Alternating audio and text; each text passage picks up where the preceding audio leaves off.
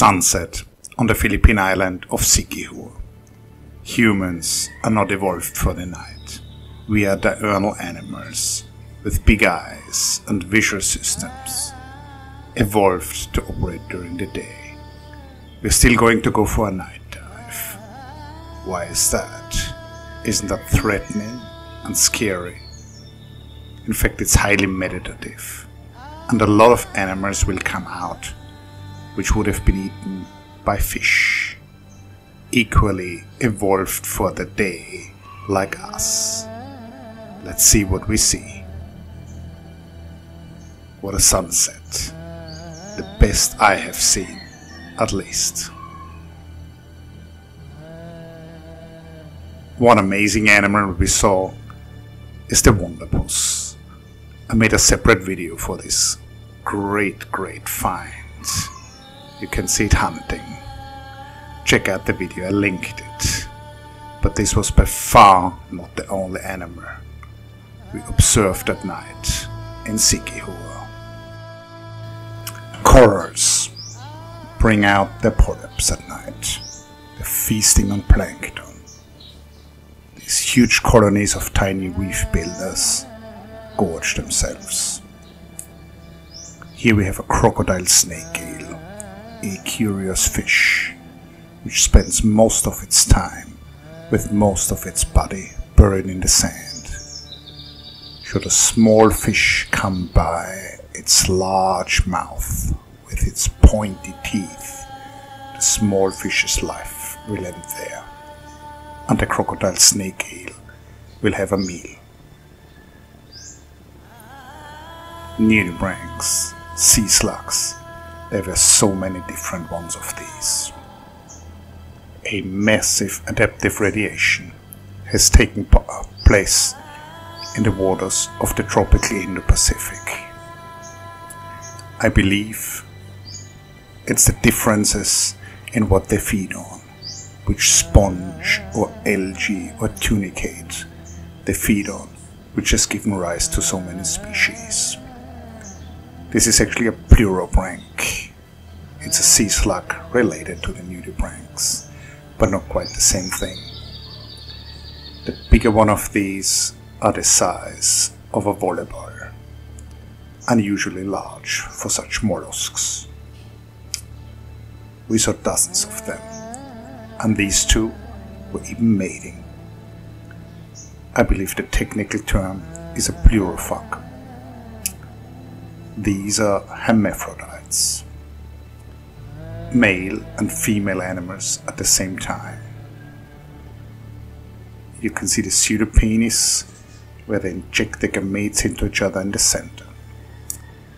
A pair of rare dwarf lionfish traveling the reef together looking for food.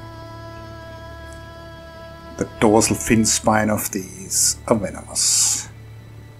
It wouldn't kill you to touch them, but it would probably send you to the hospital for a day of unpleasant swelling. What pretty animals. Like on land, in wasps and spiders. The warning colors tell you about the venomousness. Immoral. Look at the nostrils of this fish. This again is a nocturnal hunter, mainly guided by olfaction. The tubular nostrils, I believe, give it the ability to smell in a directionally sensitive manner. It can tell where the fish comes from. What is this? It's changing color. Take a look at the eyes, they're on the right. This is a bumblebee squid, a tiny, tiny cephalopod, a relative of the octopi. Admittedly, it didn't like my video light very much, so it decided to bury itself in the sand.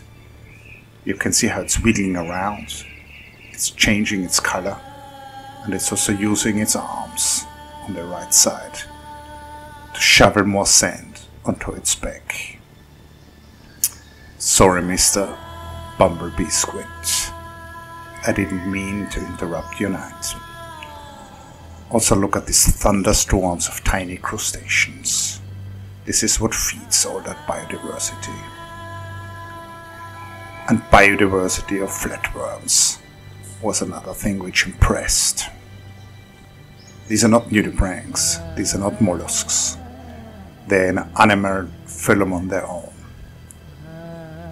I believe a lot of these are also really poisonous. If they're striking colors, and ingesting them wouldn't do any fish very good. Again, the number of species seen on the reefs of flatworms was quite stunning. At night they come out. Is this a flatworm? No. This is a fish, a flatfish, which mimics a flatworm. What a clever strategy. Yet another flatworm. At that point, the shrimp storm was intense. Shrimp, so many different shrimp. This is a marble shrimp, Saron. I'm very excited about this footage actually. These ones are rare, they're beautiful and rare. And uh, they only come out at night usually, and you don't see them in a lot of places. Siquijor has a lot of these. This one decided to retreat from my camera and video light, but it gave me a couple of seconds to film it. Look at this gaudy pattern on the carpus of this shrimp. Here it is again, in a close-up. What a beauty. More crustaceans.